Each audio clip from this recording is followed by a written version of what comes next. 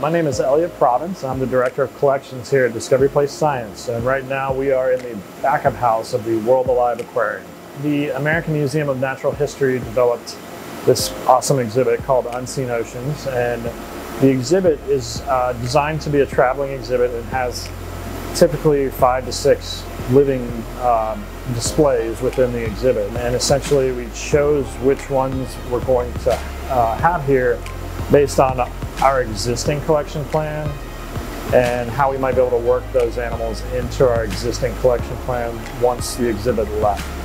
Zebra horn sharks, the Atlantic line seahorse, uh, the moon jellyfish, we had a common spider crab, the schooling fish. There was a, a room that featured um, plankton and drifters in the ocean and essentially these moon jellyfish are something that we culture here. So it was really easy for us to take some of these jellyfish up to that exhibit.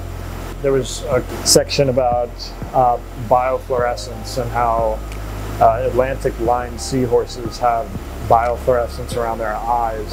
Um, and so we, we already had a display of Atlantic line seahorses. And basically those younger seahorses uh, will end up on display once our older population passes on. And the zebra horn shark is a really interesting one. It's a tropical species of horn shark.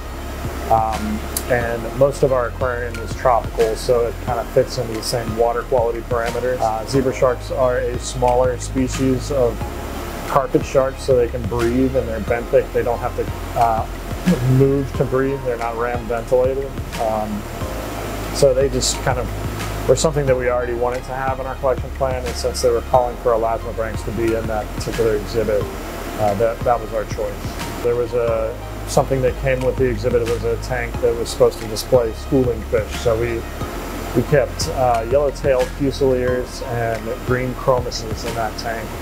Uh, those are both types of fish that we have already on display.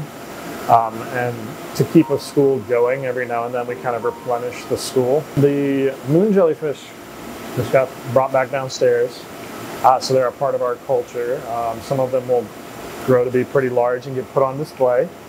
The spider crabs actually might get put on display in their own exhibit.